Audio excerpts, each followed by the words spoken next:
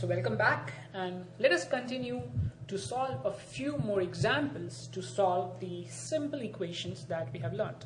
Now we have an equation which says 10p plus 10 equals 100. So this 10p plus 10 is our left hand side and 100 is our right hand side. Now our first step is to find out how do we isolate this p and we do it in a step-by-step -step manner. Now we see that 10p is added to 10. So first we need to remove this 10 from here and then we will be left with 10p and then we try to remove the 10 from the p and then we will be able to isolate the p. So first step is going to be to remove this 10 from this side. So for that if I subtract 10 from this expression here right so we can do the same on the right hand side. That way we can get rid of 10 so our first step is going to be subtracting 10 from both the sides. So we have 10p plus 10 minus 10 because we are subtracting 10 from both the sides and we have 100 minus 10 so what we get now is that this gets cancelled out. So we have 10p equals 90 okay now we still have to isolate this p. So if I divide this term entirely by 10 we should be able to get p out so what we need to do is, and then we have to, if we are dividing this side by 10, we need to divide both of the sides by 10 to maintain the balance of the equation. So our next step is to divide both sides by 10. So what we have is 10p divided by 10 equals 90 divided by 10 this gets cancelled. So we get p equals 9 because this is 9 now this p equals 9 is the solution to our equation. And we would like to check the solution whether p equals 9 solves the problem or not so we substitute p equals 9 in our left hand side which is 10p plus 10 which is equal to 10 into 9 plus 10 which goes out to be 90 plus 10 and then finally it comes out to be 100 this is nothing but the right hand side.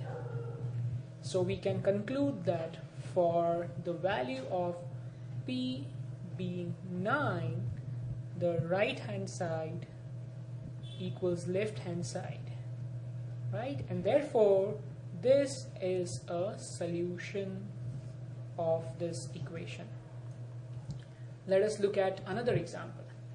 Now we have 2q minus 6 equals 0 so in this case now we again proceed to isolate this variable to get the solution. Now as you look at it, we first need to remove this term 6 minus 6 and then 2. So in the first step, what we will do is we will add 6 to both sides.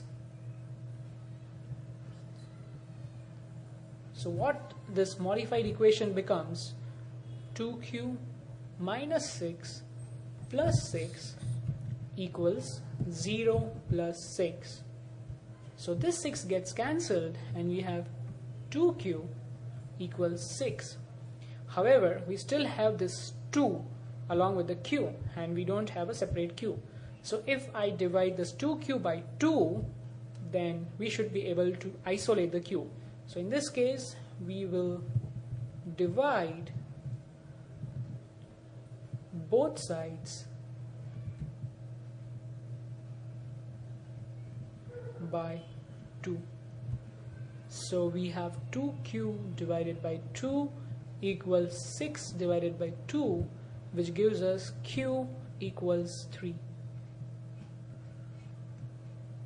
right? Because this is 2 times 1 and 2 times 3 is 6 now let us check the solution to this equation we do so by substituting q equals 3 in this equation that is 2q minus 6 so we have 2 into 3 minus 6 or we have 6 minus 6 which gives us 0 which is nothing but the right hand side.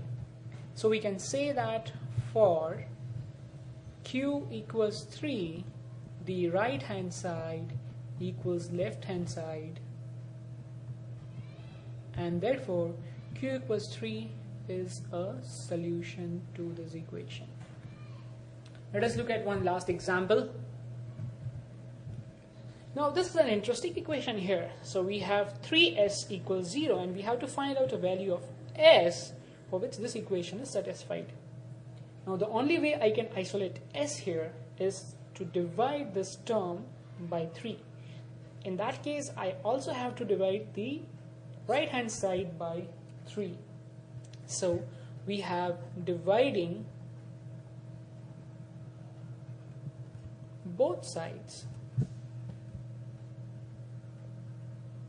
by 3 we get 3s by 3 equals 0 by 3 so this gets cancelled and we have s equals now when we divide 0 by any number right it is always 0 therefore s equals 0 is a solution of this equation.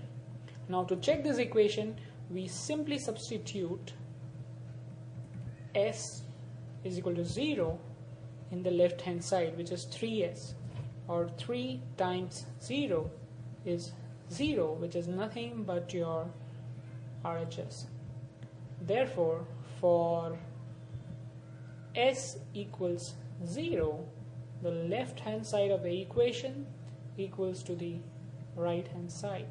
And s equals 0 is a solution to this equation. So these were a few more examples that we learned about solving an equation.